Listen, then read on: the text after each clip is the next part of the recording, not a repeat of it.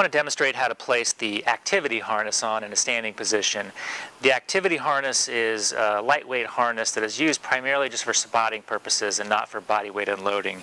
So we're going to just place it on the patient like you would a vest of any type and we're going to go ahead and wrap the front buckle around here. We want to make sure it's low enough that it catches just the top of the iliac crest here on the lower waist area.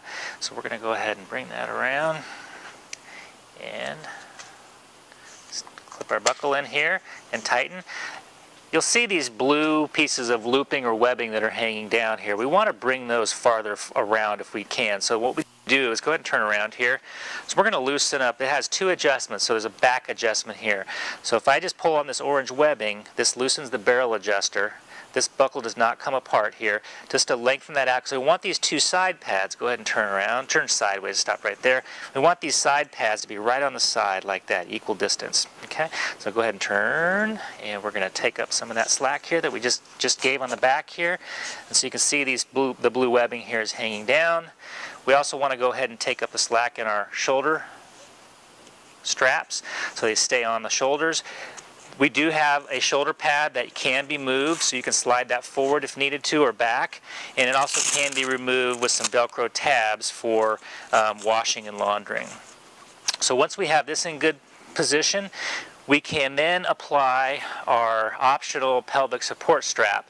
If you have a patient who only needs very light spotting, higher level, they may not need this lower uh, belt, but it's always a good idea to place this on for safety. So the lower belt is just a simple strap with a rubberized piece in the middle here. This is going to be centered underneath the person's uh, butt. And um, we're going to first of all just take these clips, place them through the blue webbing here, and pull that tag in through so it just hangs there so it's easy so it doesn't fall down. And then we're going to place the other one here through the blue webbing And many times I would just leave it hanging in this position when we remove and place the harness on um, in the future. So I want to take up the slack in this and I want to make sure that it's even. So there's a couple of D-rings here that help me kind of know where I am and how even this is coming around the bottom here. So go ahead and just turn around for me briefly and we'll just show where this is coming. So we just want that strap to catch underneath the gluteal fold, okay?